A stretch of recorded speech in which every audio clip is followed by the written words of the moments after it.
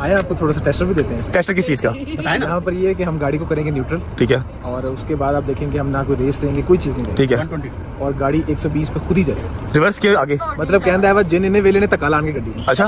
नहीं मेरी बात सुने। कोई साइंस की भी तो मोनोपोली बीच में हो सकती है भाई हाँ, इसमें चीज़ ये है कि यहाँ पर जो सऊदी गवर्नमेंट ने इस इलाके को नाम दिया ना हाँ। वो दिए वादी उबैदा। ठीक है। अच्छा उबैदा है अरबी ज़ुबान का ठीक है। अच्छा अब इसका मीनिंग उठा के देखें तो इसका मतलब ये है कि अंडे नुमा शक्ल। ठीक है। मतलब है बैदा सफ़ेद। अंडे नुमा अंडे अंडे नुमा, ठीक है। इसका बनता है ये साइज़। ठीक है। अच्छा ये एक अजूबों में से एक अजूबा अल्लाह की कुदरत में से कुदरत है कि यहाँ पर की जो ज़मीन है वो बंदे की तरफ़ ठीक है। जिसकी वजह से ये ढलान है। जन्नत वाला जो कॉन्सेप्ट है ये जो है वो भाई ऐसी मानने। आप ना मैं मानना मैं मानता में किसी भी जगह पे गाड़ी लेके चले जाए हाँ। गाड़ी कोई भी डालना पे एक मखसूस लेवल पे जाके गाड़ी अच्छा मेरी बात सुनो भाई इधर है भाई इधर आए।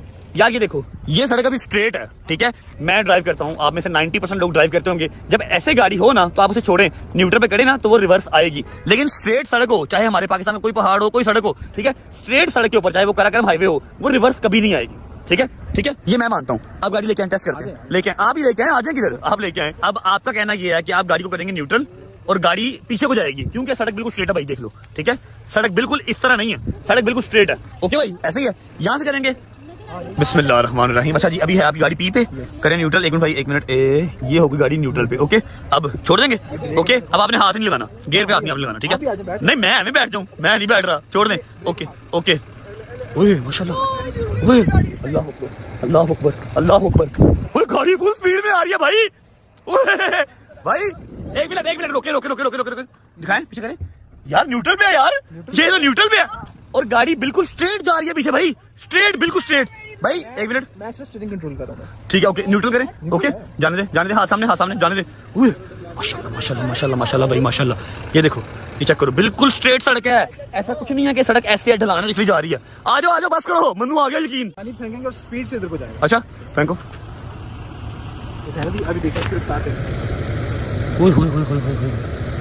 ये नीचे को क्यों जा रहा है यार? ऊपर क्यों नहीं जा रहा रुकेगा नहीं गुजरता जाएगा माशाल्लाह जब माशाल्लाह। माशाल्लाह महसूस करें लोगों को तो नहीं पता लग रहा होगा लेकिन मैं और आप खड़े हैं। हाँ। एक फील आ रही है कि हमें यहाँ हाँ खुदा की कसम एक ऐसी वाइब है कि मैं नीचे को जाऊँ जबकि सड़क की ढलान इस तरह नहीं है मैं पहाड़ के ऊपर नहीं खड़ा मैं किसी चोटी के ऊपर नहीं खड़ा। पहाड़ सारे इर्द गिर्द है ठीक है? मैं ऐसे सेंटर सड़क पे खड़ा हूँ और मुझे कोई चीज़ ऐसी है जो खींच रही है नीचे को। शायद यहाँ पे बंदा आके ना रेयर व्हील ड्राइव हो जाता है। सरकार गड्डी मदीना शरीफ के पास सऊदी अरब में वादिय जिन है और काफ़ी सारे लोगों ने वहाँ पे विज़िट करके अपनी वीडियोस बनाई और यूट्यूब के ऊपर डालनी शुरू कर दी।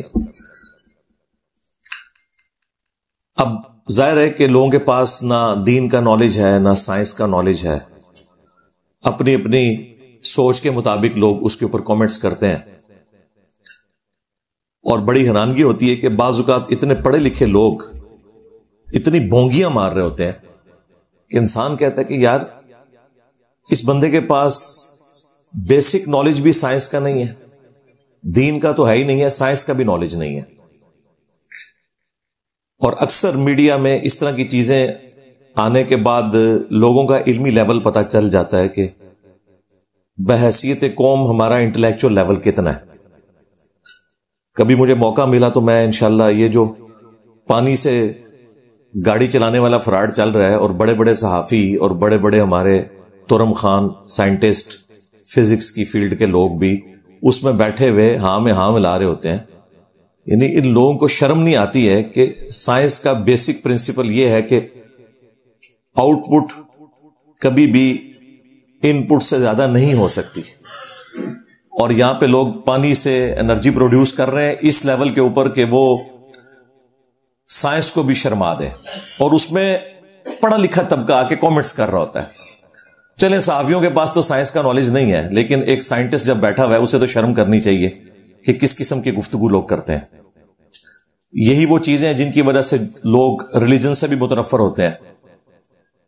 और हमारे जैसे लोग जब सही बात बताते हैं तो लोग कहते हैं, ये यहूदों नसारा का एजेंट है। ना खुद इल्म हासिल करना है और ना किसी से इल्मी गुफ्तगु करनी है, बल्कि इल्ज़ाम तराशी करनी है, ये हमारी एक नेचर डेवलप हो चुकी हुई है। मदीना शरीफ के अंदर एक वादी है पहाड़ों की, जिसमें से एक रोड गुजरती है। उसे वादी जिन कहा जाता है। अब ये वादी जिन, उसका नाम क्यों है? वल्ला आलम। एन मुमकिन है कि इसी एक्सपीरियंस की वजह से हो या किसी और वजह से। वहाँ पे हमारे पाकिस्तानी भी अपनी गाड़ियाँ लेके चले जाते हैं और चीज़ें, काफ़ी सारी वीडियोस यूट्यूब के ऊपर रखी हुई हैं। और हमारी ये जो जमात है बापा जानी की, जो हमेशा इस किस्म के देव मलाई किस्से कहानियों की तलाश में रहते हैं, वो तो बकायदा पूरी अपनी बड़ी रोड लाइनर लेकर गए और जो हबीब अतारी साहब हैं उनके, इस वक्त, बैरून के निगरान, उनकी शूरा के एक अहम रुकन।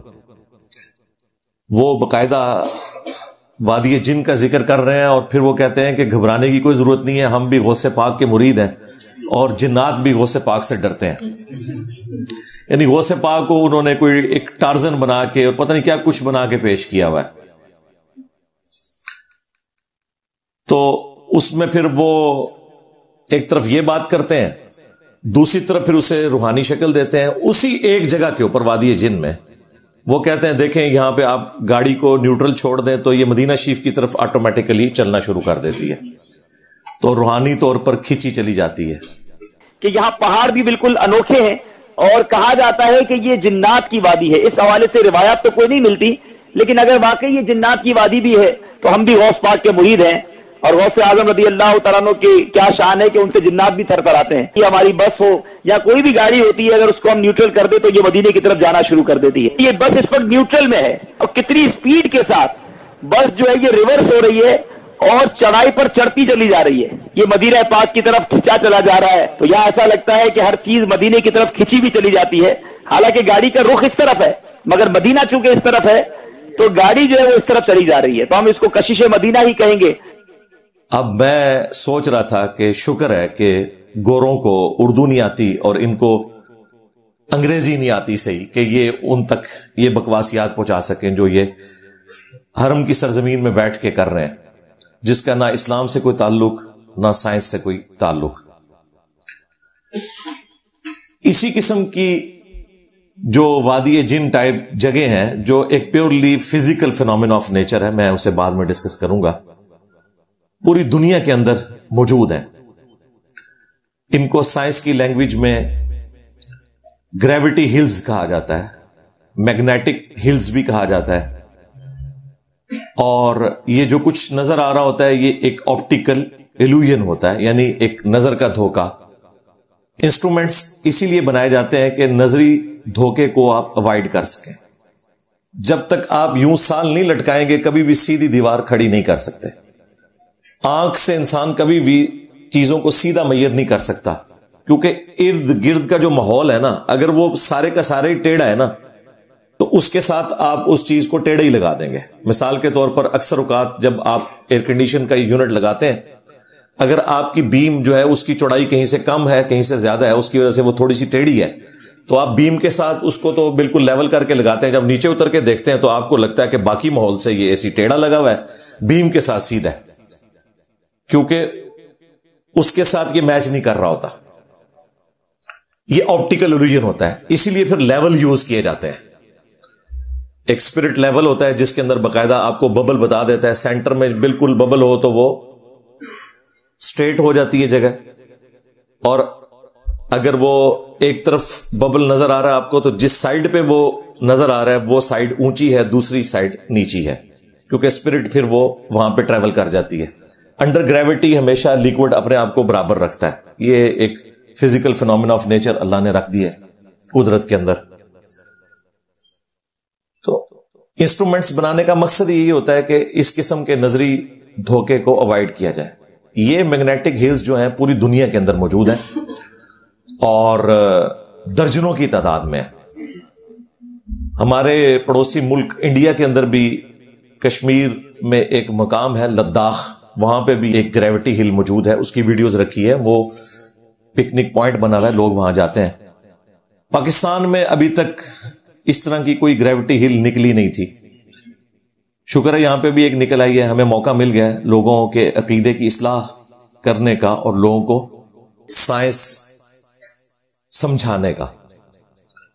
पाकिस्तान में ये ग्रेविटी हिल ऑलमोस्ट आठ से दो साल पहले निकली, लेकिन उस वक्त इसकी वीडियोस उस तरह वायरल नहीं हुई। अगरचे हमारे एक दोस्त हैं, उर्दू पॉइंट के लिए वो मुख्तलिफ़ वीडियोस रिकॉर्ड करते हैं, दानिश हुसैन भाई। उन्होंने उसी वक्त वहाँ विज़िट करके एक वीडियो चढ़ा दी थी, लेकिन एज सच उसको पजीराई इतनी नहीं मिली उस वक्त। फोर्ट मनरो के करीब एक ऐसा पुरसरार मकाम, जहाँ मुबैना तौर पर गाड़ियाँ, मोटरसाइकिल ऊंचाई की जानब खींचती हैं।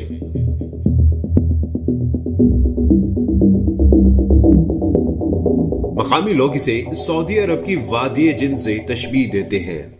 इस रमज़ान के अंदर अचानक कुछ लोगों ने वीडियोस बनाई और फिर वो मौजू लोगों के सामने आ गया। ये पाकिस्तान में जनूबी पंजाब के अंदर एक जगह है, Dera Ghazi Khan, D G Khan district के अंदर ये जगह है और उसका नाम है फोर्ट मनरो। और ये डीजी खान सिटी से 85 किलोमीटर है। मुल्तान सिटी से 185 किलोमीटर दूर है। और साहिल समुंदर से, सी लेवल से ये ऑलमोस्ट साढ़े छह हज़ार फीट बुलंद है जगह। एक अच्छा पिकनिक पॉइंट है, ठंडी जगह है, जिस तरह हमारे यहाँ पे नॉर्दर्न एरिया है, इस तरह ये एक बड़ी अच्छी जगह है फोर्ट मनरो बेसिकली एक ब्रिटिश एम्पायर के कर्नल थे मनरो बाद में वो मेजर जनरल होकर रिटायर हुए। 19वीं सदी ईसवी के अंदर, जब गोरों का कब्जा हो गया यहाँ पे तो उन्होंने वहाँ पे एक उसे स्ट्रेटेजिक पॉइंट ऑफ़ व्यू से डेवलप किया। मुख्तलिफ़ जगहों पर ये किले बनाया करते थे। फोर्ट अंग्रेज़ी में किले को कहते हैं। तो फोर्ट मनरो उसके नाम के ऊपर उन्होंने वहाँ पे एक चौकी कह लें, किला कह लें, वो बनाया। फिर उससे थोड़ा बहुत डेवलप किया, लेकिन उस वक्त ग्रेविटी हिल वाली चीज़ सामने नहीं आई थी। ये बाद में जब मजीद सड़कें बनी तो उनमें फिर कोई एक सड़क ऐसी बन गई कि जिसके ऊपर अब सूरत हाल ये है कि ढलवान के अपोजिट साइड के ऊपर चीज़ें ऊपर चढ़ना शुरू कर देती हैं। मिसाल के तौर पर यह बुक है। तो वो ढलवान देखने में मामूली सी है, लेकिन बहरल वो नज़र को तो ढलवान नज़र आती है इर्द गिर्द के माहौल की वजह से। तो अब यहाँ पे कोई चीज़ आप रखते हैं ना तो वो अंडर ग्रेविटी खुद ब खुद ऊपर चढ़ना शुरू हो जाती है। वैसे तो फिजिक्स का ला ये है कि जब आप कोई चीज़ बुलंदी पे रखेंगे तो वो अंडर ग्रेविटी नीचे आएगी। और उसकी इक्वेशन जो न्यूटन ने निकाली थी, वो फोर्स बराबर होती है एम जी साइन थीटा के। यानी उस चीज़ का मैस प्लस जी और फिर साइन थीटा जो ये एंगल बन रहा है।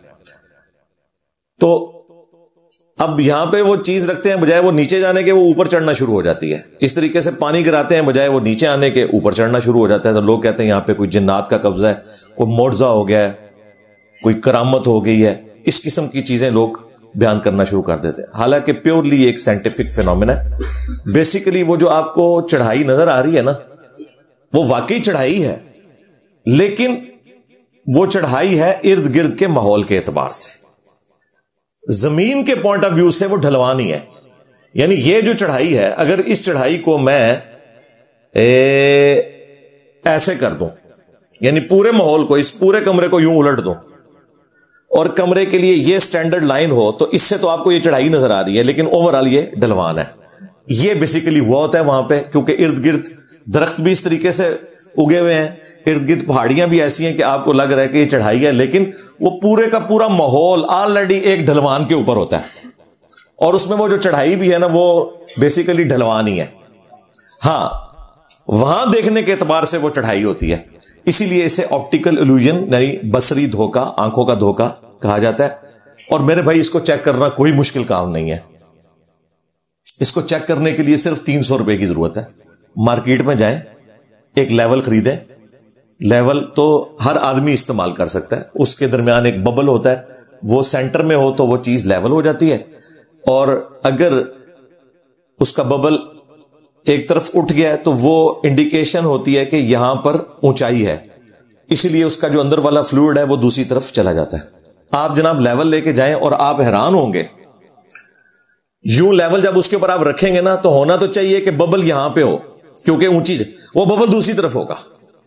लो सामो ਐਨੀ सारी गल है थोड़ा जिन फड़ लिया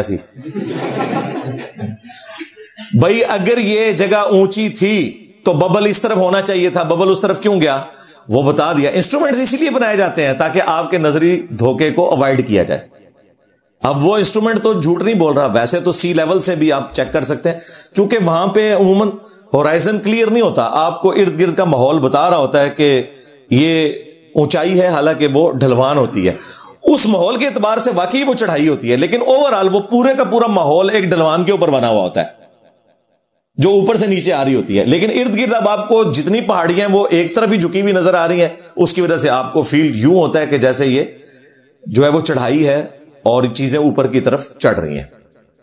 ये चीज़ें साइंटिस्ट ने बहुत पहले डिस्कवर कर ली थी। ऑलमोस्ट आज से 80 साल पहले एक अमेरिकन साइंटिस्ट थे वो डिज़ाइनर भी थे। एम उसका नाम था। उसने एम्स रूम एक डिज़ाइन किया था। उसकी वीडियो भी मैं इसमें लगा दूँगा। ग्रेविटी हिल की वीडियो भी हम लगा देंगे। समझाने के लिए एक बंदे ने बकायदा अपने घर के अंदर एक एक्सपेरिमेंट परफॉर्म किया वो आप एक्सपेरिमेंट देखेंगे तो आपको खुद ब खुद पता चल जाएगा। शुरू में उसने कैमरा करीब रखा है तो आपको लग रहा है कि हर चीज़ खुद ब खुद ऊपर चढ़ रही है। फिर उसने जब कैमरा पीछे किया ना तो पीछे जो उसने सीनरी भी लटकाई हुई थी ना, वो टेढ़ी लटकाई हुई थी। हर माहौल उसने टेढ़ा किया हुआ था। उसकी वजह से लग रहा था चीज़ें ऊपर जा रही हैं। जब उसने कैमरा पीछे किया तो पता चला कि वो नीचे की तरफ़ थी, समझाने के लिए। एम्स रूम की भी वीडियोस रखी हुई हैं यूट्यूब के ऊपर। ये एक डिज़ाइनर था साइंटिस्ट था अमेरिकन 1946 में उसने एक कमरा ऐसा डिज़ाइन किया, जो ऑलरेडी पूरी की पूरी ढलवान के ऊपर बना हुआ था। लेकिन अंदर जाके उसका सारा माहौल उन्होंने सीधा किया हुआ था। बाहर का माहौल, बाहर से देखें तो आपको वो टेढ़ा बना हुआ नज़र आएगा, लेकिन अंदर जैसे ही जाएँगे, हर चीज़ सीधी है। उसमें जो भी बंदा एंटर होता है ना तो वो एक तरफ़ झुक जाता है। दूसरा, उसमें एक ही पोजीशन के ऊपर उसने इस तरह एंगल करके डिज़ाइनिंग की हुई है कि एक बंदा कमरे के एक कोने पे जब खड़ा होता है तो वो छोटा सा नज़र आता है। जैसे ही वो चंद कदम तय करके उस कमरे के इस वाले कोने पे आता है तो वो छत से भी ऊँचा हो जाता है, उसको यूँ होके खड़ा होना पड़ता है। बंदा हैरान हो जाता है ये जादू हो रहा है हालांकि वो सारा बसरी धोखा है It's named after Adelbert Ames, which is a great name, um, who is an ophthalmologist. Um, I don't know what he was doing, inventing distorted perspective rooms like this, but he but he did. It was really great to see it work as well as it did on camera last night. It was really fantastic.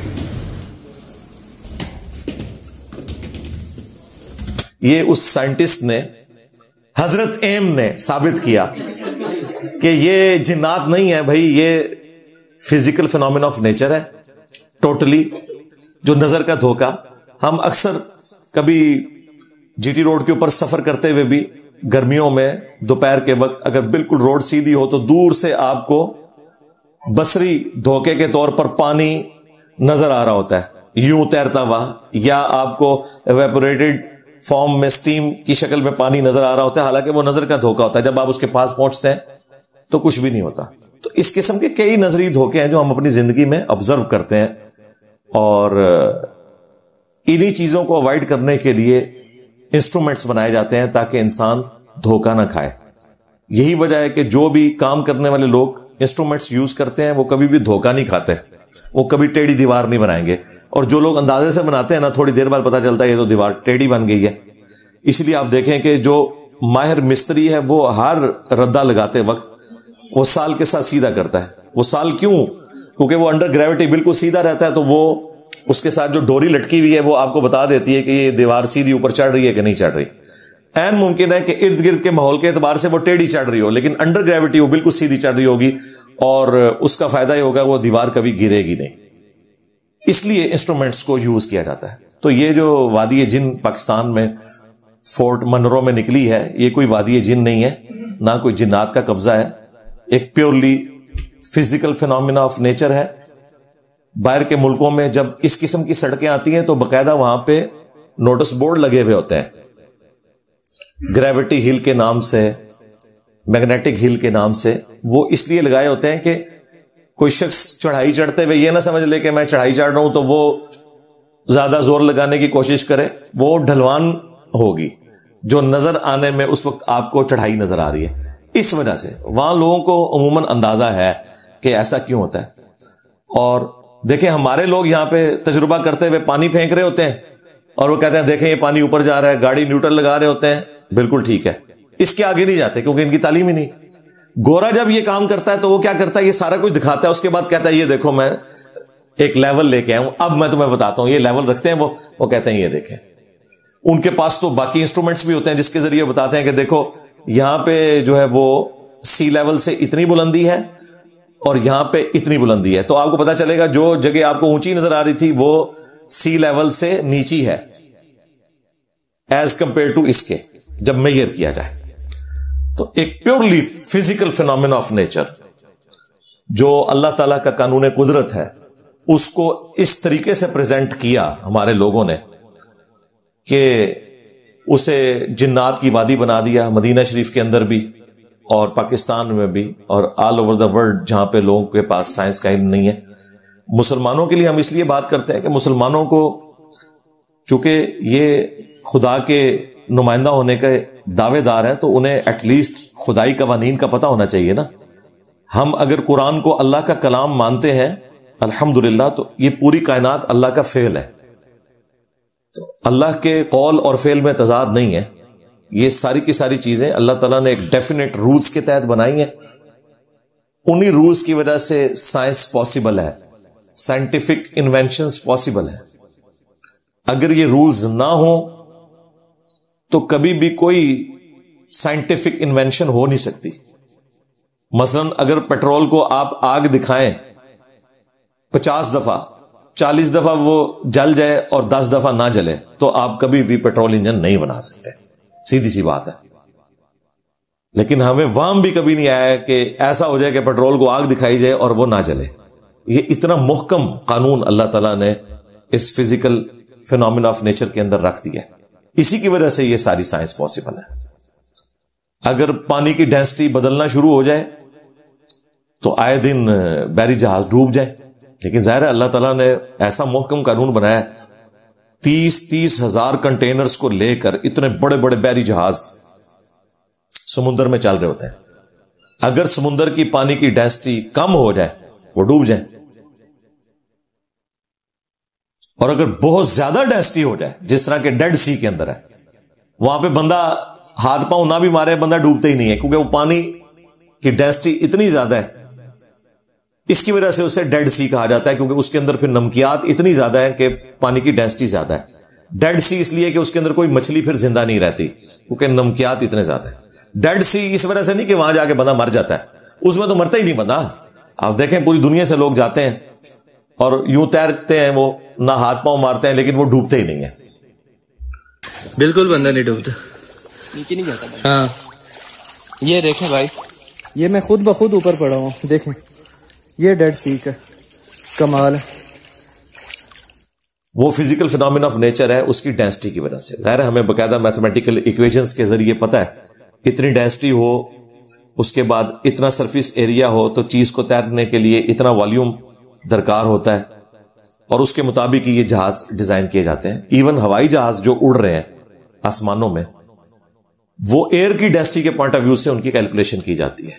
ज़ाहिर ये भी एक fluid है, जिसके अंदर हवाई जहाज़ उड़ रहे हैं। इसीलिए जिन जगहों के ऊपर एयर पॉकेट्स आती हैं, अचानक हवाई जहाज़ उड़ते उड़ते कई कई सौ फिट यूँ नीचे आ जाता है। वो पहले अनाउंसमेंट कर देते हैं कि आप सीट बेल्ट बाँध लें। क्योंकि अचानक जहाज़ नीचे भी आ सकता है। वहाँ पे एयर की डेंसिटी कम होती है। ये काम जो है वो समुद्र के केस में नहीं होता, लेकिन हवाओं के अंदर ऐसा मसला हो जाता है। लेकिन बहरल अल्लाह तला ने उसे इतना मोहकम रखा है कि वो ऐसा नहीं होता कि बिल्कुल ज़मीन पे ही आके लग जाए। ऊपर कहीं डेंसिटी कम हुई, नीचे तो पहले जो ऑलमोस्ट पचास किलोमीटर है ना ज़मीन के सरफेस से लेकर ऊपर तक 50 किलोमीटर, ये ऑलमोस्ट 90 परसेंट से ज़्यादा एयर की डेंसिटी इसी पोर्शन में पाई जाती है। उसमें चंद एक एयर पॉकेट्स आती हैं, लेकिन ऐसी एयर पॉकेट नहीं आएगी कि आप बिल्कुल आगे ज़मीन पे ही लग जाए। दस हज़ार फुट पे उड़ रहे थे तो अचानक आप साढ़े नौ हज़ार पे आ जाएँगे, बस ये होगा। अदरवाइज़ तो जहाज़ उड़ ही ना सकते। दुनिया का सबसे सेफ़ सफ़र ही जहाज़ का है। एक लाख दफ़ा ट्रेन चले, एक लाख दफ़ा बस चले, एक लाख दफ़ा कार चले, किसी रास्ते के ऊपर सफ़र पे और एक लाख दफ़ा जहाज़ उड़े। जहाज़ का एक भी एक्सीडेंट नहीं होगा। ट्रेन के हो सकते हैं, तीन एक्सीडेंट हो जाए। सबसे सेफ़ सवारी जहाज़ की है। वो खतरनाक इसलिए लगती है कि जब वो गिरता है तो बंदे बचते कोई नहीं। लेकिन वो गिरते नहीं है। रोज़ाना जिस तरह फ्लाइट्स उड़ रही हैं जहाजों की, आप सोच नहीं सकते। उस एतबार से अगर ट्रेनें चल रही हों तो आपको एक्सीडेंट्स के इतने वाकयात मिले। इतना ये महफूज सफ़र है। फिर उसकी हाइट भी उन्होंने डिफाइन की होती है कि जो इधर से इधर जा रहा है वो इतनी हाइट पे उड़ेगा, जो इधर से इधर जा रहा है वो इतनी हाइट पे। ट्रैफ़िक ऐसी मैनेज की हुई है कि कोई प्रॉब्लम होती नहीं। तो ये सारे फ़िज़िकल लाज को इंसानों ने सीखा है। अल्लाह ताला ने इंसान को ये उलूम सिखाए हैं जिसकी बरकत से हम आज इतनी इन्वेंशन कर रहे हैं। इस्लाम में दो ही उलूम है। एक रिवील्ड नॉलेज है, वही का इल्म, जो कुरान सुन्नत की फॉर्म में अल्लाह ताला ने अम्बी कराम के ज़रिए किताबें अता फरमाई। और दूसरा है एक्वायर्ड नॉलेज जो हम अपने तजुर्बात से हासिल करते हैं। The knowledge obtained through observation and experiments is known as science science का इल्म है मुशाहिदात और तजुर्बात से हासिल किया गया इल्म। और ये इतना मोहकम इल्म है कि इसे कुरान हकीम में हज़रत इब्राहिम ने खुदा के एक होने की दलील बनाया। और बादशाह वक्त को खामोश करवा दिया। सूरतुल बकरा में आता है ना, उस बादशाह ने कहा कि मैं भी ज़िंदा करता हूँ और मारता हूँ। दो कैदी मंगवाए, कुरान में पूरा वाक्य ज़िक्र नहीं, बस इतना हिस्सा है। एक को छोड़ दिया, एक को कत्ल करवा दिया। तो इब्राहिम इस्लाम ने कहा कि ये पूरे से दिमाग का बंदा है, इसके साथ मोटी बात करनी चाहिए। कहा, मेरा रब वो है जो मशरक से सूरज निकालता है। विद रिस्पेक्ट टू ज़मीन, वैसे तो सूरज नहीं निकलता, लेकिन ये फ़िज़िकल जो ऑब्जर्वेशन है उसमें। अगर तू खुदा है तो मगरब से निकाल। तो कुरान के अल्फाज है कि वो काफिर हक्का बक्का रह गया। तो ये एक फ़िज़िकल फिनोमिना ऑफ़ नेचर था। इतना मोहकम कानून था जिसे खुदा चला रहा है कि इब्राहिम इस्लाम ने खुदा के एक होने की दलील इसे पेश किया। लिहाजा ये जो बाद लोगों को साइंस से चिड़ हो जाती है, भाई, दुनिया में अंबिया कराम के बाद अगर किसी ने खुदा की तोहीद की खिदमत की है ना तो साइंस का इल्म है। और आज जिस तरीके से साइंस ने हमें हकायक बताए हैं, ये हमारे बुज़ुर्गों को बिल्कुल इनकी अलिबे भी नहीं पता थी। हर आने वाला दिन कुल्ल यौमिन हुआ फ़ी शान। अल्लाह नई शान से ज़ाहिर हो रहा है। साइंस की बरकत से हमें क्या कुछ पता चल रहा है। और ये तो मेरा फेवरेट टॉपिक है, मैंने इसके ऊपर दर्जनों वीडियोस बनाई हैं। हमारे स्टूडेंट हैं हदाया विक्ट्री चैनल आप उसको सब्सक्राइब करें, उस पर देखें क्या कुछ अपलोड हुआ है। मेरी कुरान क्लासेस में से जो जो चीज़ें मैं बताता हूँ। ज़ाहिर है, वो गोरों की बरकत है कि उन्होंने इतनी मेहनत की है नेशनल जोग्राफिक चैनल के ऊपर डिस्कवरी के ऊपर एनिमल प्लानट के ऊपर। हमारे तो बुजुर्गान दीन सिर्फ़ ट्रेनें रोकते रहे, इंजन रोकते रहे, इंजन बना कोई नहीं सका। हाँ सीधी सी बात है। तो ये जो साइंस का इल्म है, ये इतना मोहकम है कि कुरान और सुन्नत में अगर दलील ना भी मौजूद हो, तब भी हम इस इल्म को मोहकम मानते हैं। मसलन कुरान और सुन्नत में तो कहीं नहीं लिखा ना कि पेट्रोल जो है, ये आग को जलाता है। लेकिन हम इसको इसी तरीके से हक मानते हैं, जिस तरह हम कुरान और सुन्नत की तालीमत को हक समझते हैं, क्योंकि ये फ़िज़िकल फिनोमिन ऑफ़ नेचर है, अल्लाह ने रखा हुआ है। ज़मीन से जो तेल है, ये बमुश्किल कोई डेढ़ दो सौ साल पहले निकला है। जो पूरी इंसानियत को तजर्बा हुआ कि इसमें से एनर्जी निकलती वैसे तो कबलज मसीह भी चाइना के अंदर तेल निकाला जाता था, लेकिन इसको हील करने के लिए, जख्मों के ऊपर लगाने के लिए। उन्हें नहीं पता था कि इसे आग दिखाई जाए तो इसमें इतनी एनर्जी है। ये जो हुआ ना, ये अठारह में पेंसिल्वेनिया एक अमेरिकन स्टेट है, उसके अंदर पहला तेल का कुआँ निकला। उसकी यादगार उन्होंने रखी हुई है। लोग वहाँ पे विज़िट करते हैं। सर एडवन थे, माशाल्लाह मुठी दाढ़ी थी, कर्नल एडवन। हज़रत एडवन।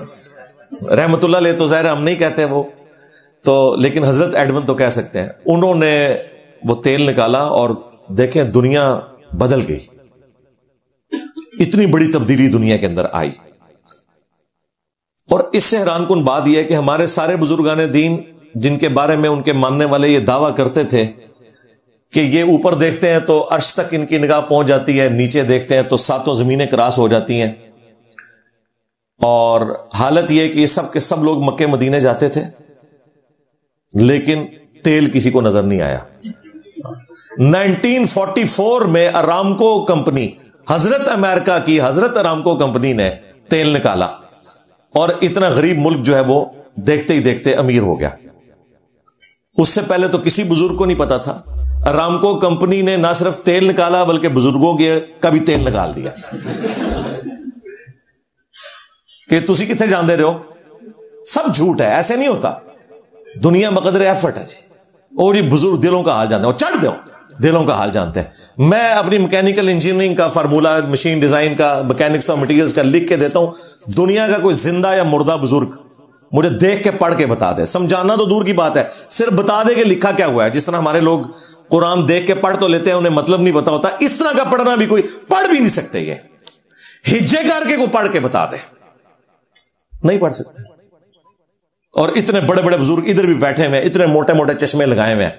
आपके दिलों के हाल जानते हैं और हालत यह है कि वो सामने से पढ़ते हुए बुक से या इवन आईपैड से भी तो एनक लगाई हुई है। चलो, ओनू इंज करके जूम कर लो, कोई इज़्ज़त रह जाए थोड़ी मीम्स ना बनन दावे सुने इन लोगों के। ये लोग हैं बेसिकली इस्लाम की बदनामी का बायस। ये लोग हैं जो इस्लाम की गॉड की ऐसी पिक्चर लोगों के सामने पेश कर रहे हैं कि लोग रिलीजन से मुतनफर हो रहे हैं। असल इशू ये लोग हैं। तो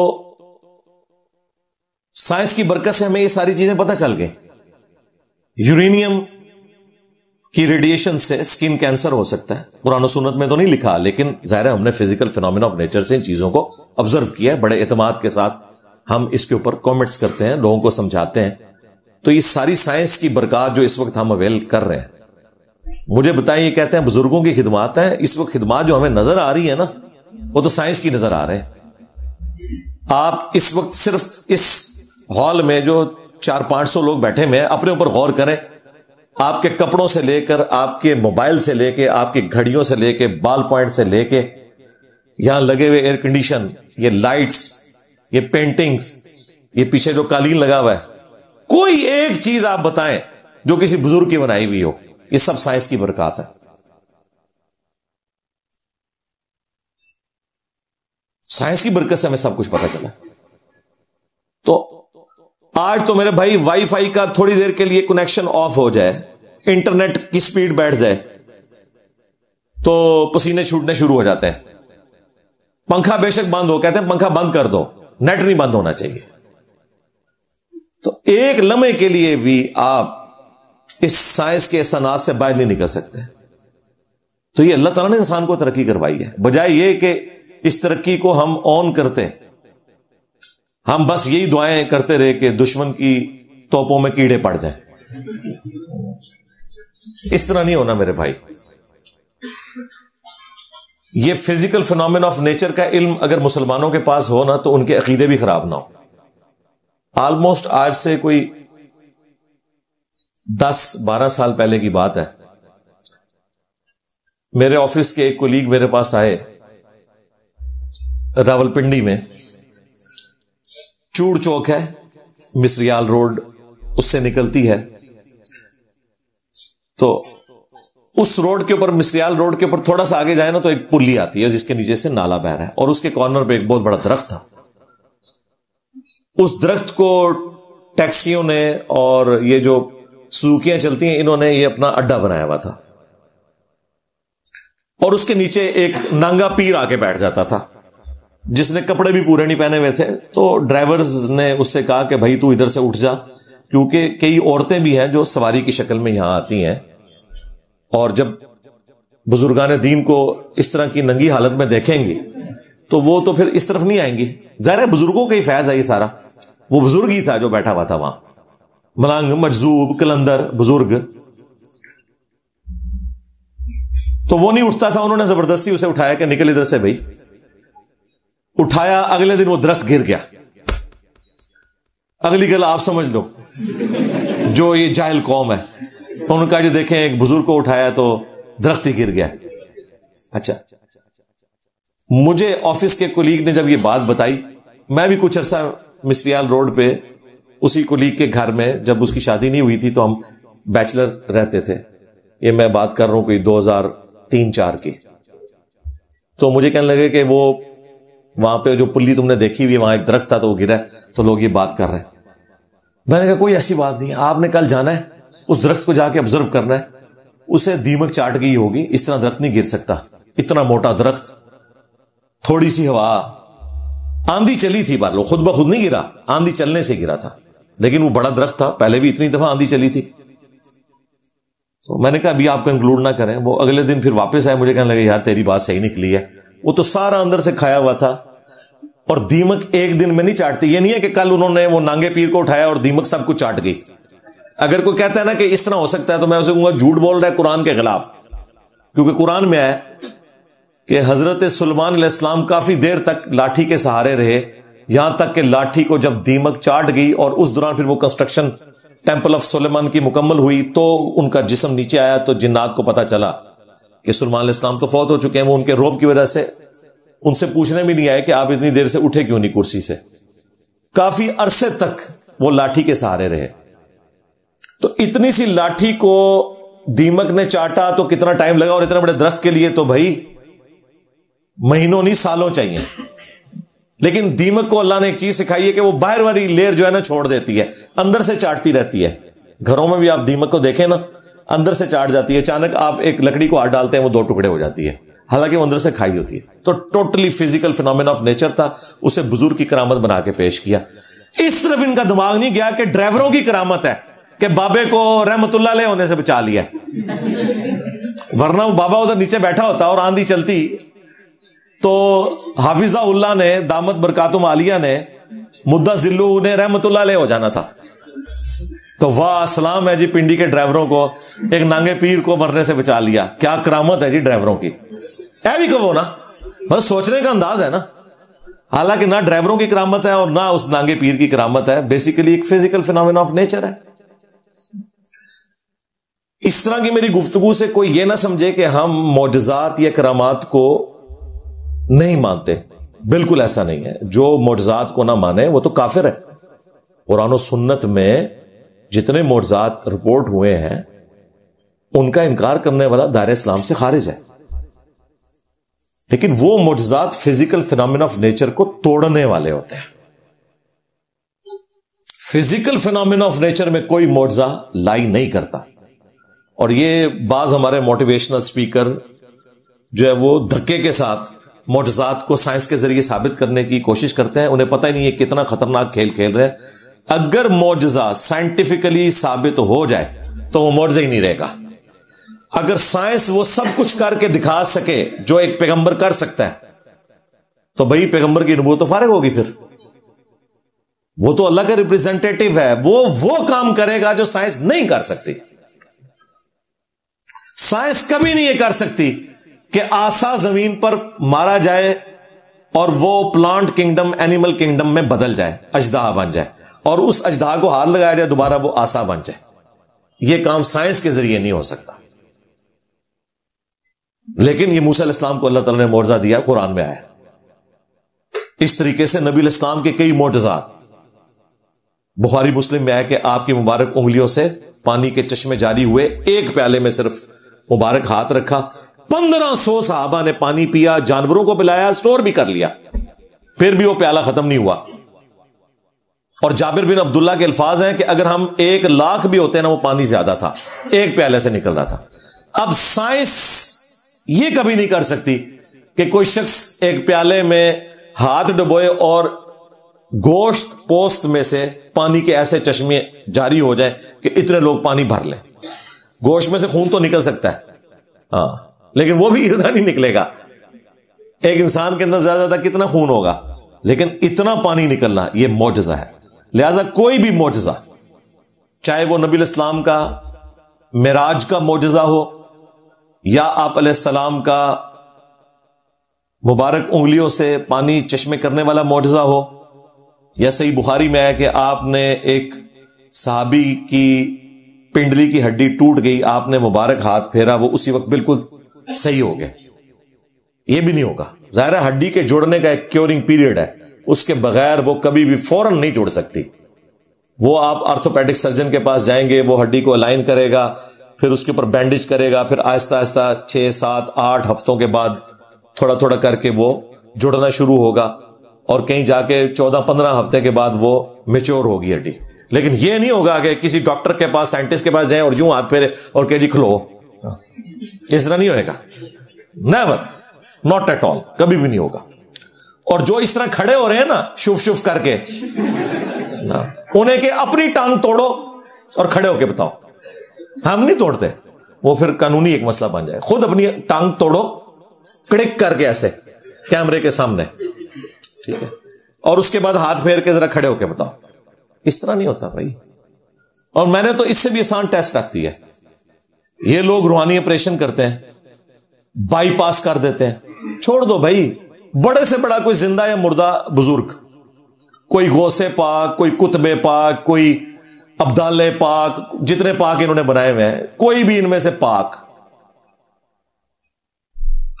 वो एक नौमौलूद बच्चे को निगाह मार के सिर्फ़ उसका खतना कर दे हाँ, बगैर ब्लेड मारे हुए हाँ।